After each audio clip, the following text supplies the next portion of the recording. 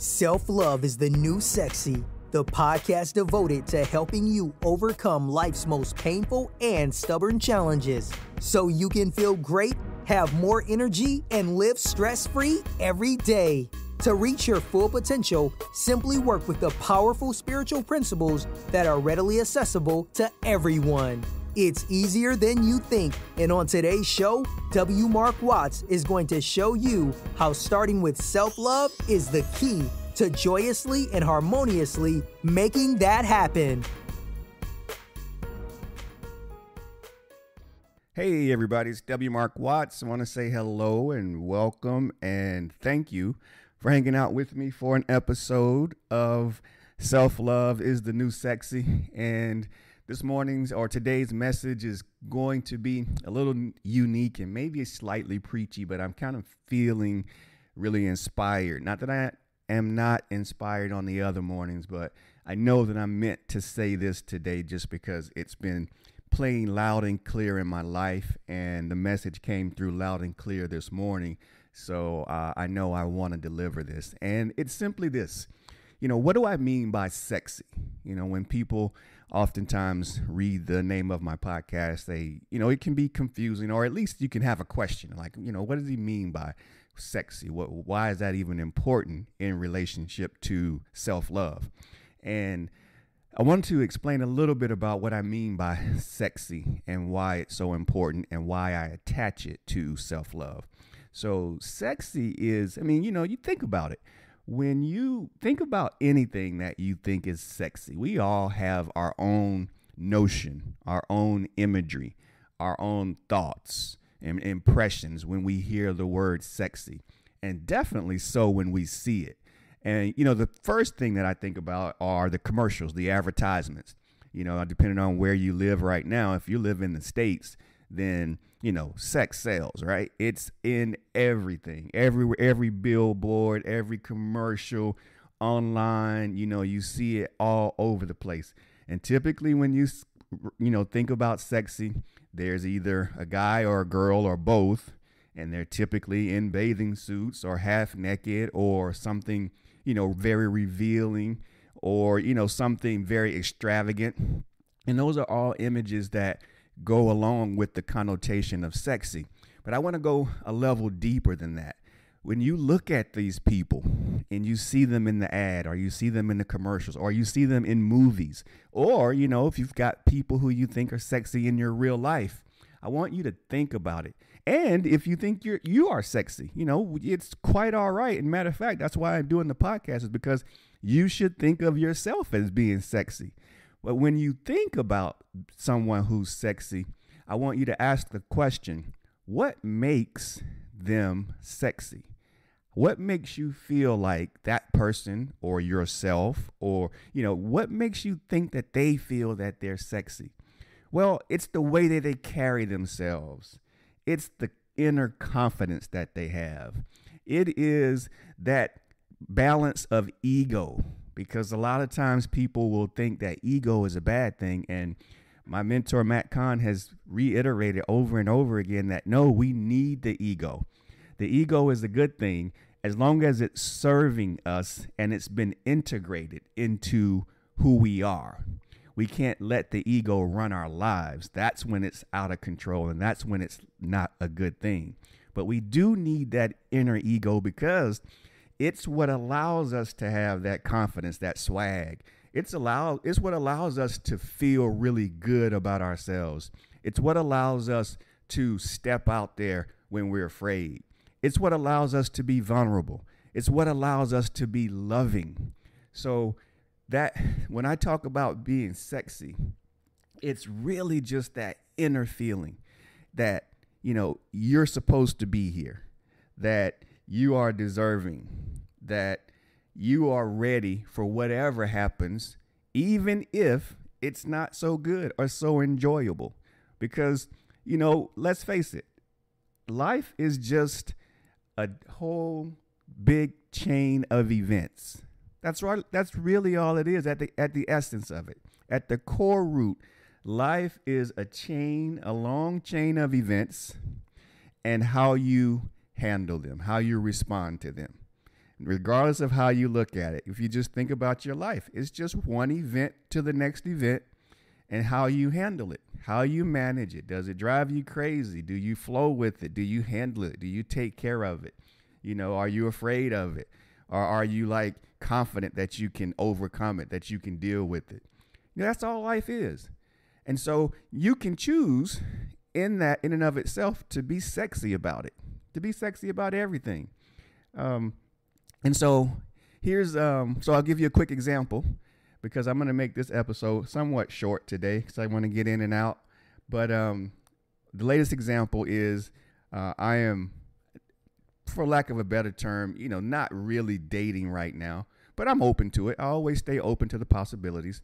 Well, the last couple days, I was introduced to a lady online, and so we, she and I have been talking for the past couple days, and uh, we're gonna meet tonight, and you know, go for have go have Mexican, and just you know, see what the real live interaction face to face is like because we've done the online back and forth, so we've done the digital, which was cool.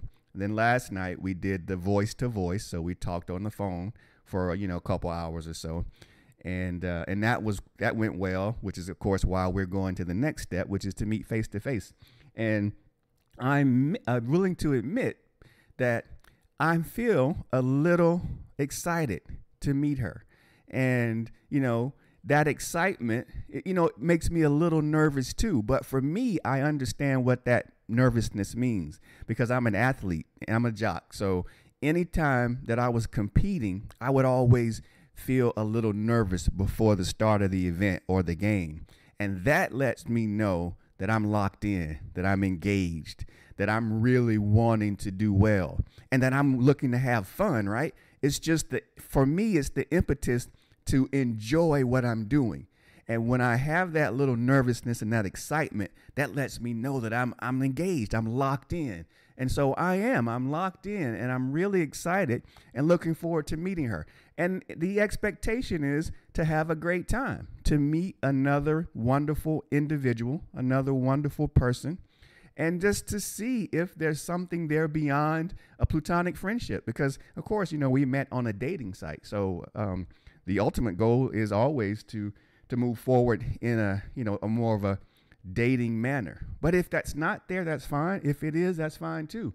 But it's it's good. It's going to be fun to just entertain that that element in that space because I haven't really done that for a couple years now. I mean, a little, you know, we've I've had a, several misses a, or a handful of misses here, and you know, throughout those two years, that two year period. But but this one is is a little more interesting, and and she's a lot more like me in personality.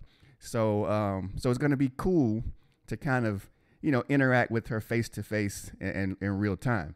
So what I'm saying is you've got to have that confidence to do those new things, to try those new things, to be willing to admit that you're a little nervous, that you're a little excited. Because why? That's who you are. And that's who we are as human beings. We it's okay to be that and it's okay to say that.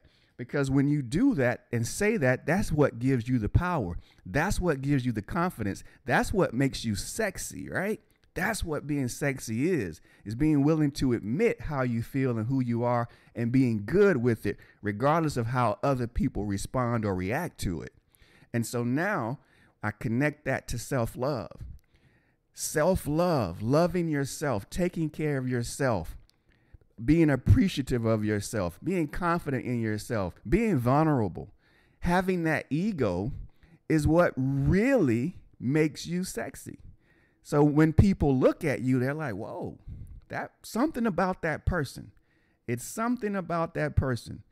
There's a lot of things about that person that is attractive, that, you know, is alluring, that is powerful. And the way that you do that is you is through self-love by really honing in on who you are and appreciating yourself and, and enjoying your power and your talents and your gifts, as well as your challenges, acknowledging your challenges and improving, you know, when, where necessary, when you feel the need, and just allowing life to unfold and experiencing it, its full breath, being cool with it, the highs, the lows, the mids, everything. That's what makes you sexy. And so that's what I want for everybody to feel because everyone should feel that way. That's our set point. But we allow, you know, certain things that come up in our lives to knock us off uh, of that goal. And that's not cool. We all deserve to be in that place of power, that place of confidence, to to exude that integrated level of ego where we're comfortable in, in our own skin and who we are. And we're comfortable growing. We're comfortable making mistakes. We're comfortable stepping out and dating again. We're comfortable going after that new job or starting that new business. You know, we're comfortable having those heart to heart conversations with our loved ones, our kids.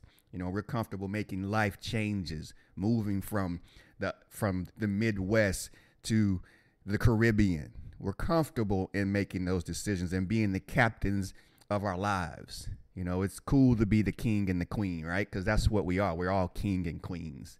So we have to be that. So that's what I mean by sexy. So whenever you think about the title of the podcast, just keep that in the back of your mind is that's what I'm talking about when I'm saying, you know, self-love is that new sexy. Self-love is the way to that confidence, is the way to to have that power to maintain it and to be the full king and queen that you really are. So I'm going to end on that note. Thanks again for hanging out with me. You know, subscribe to the show, uh, leave me a comment, rate the show, let me know what your thoughts are, and stay tuned. And I look forward to speaking with you all again very soon. Bye now. You've been listening to Self Love is the New Sexy with W. Marc Watts. If you enjoyed today's show, be sure to tell a friend. Also, make sure you never miss an episode by subscribing to our show on Apple Podcasts, Stitcher Radio, or wherever you listen to podcasts.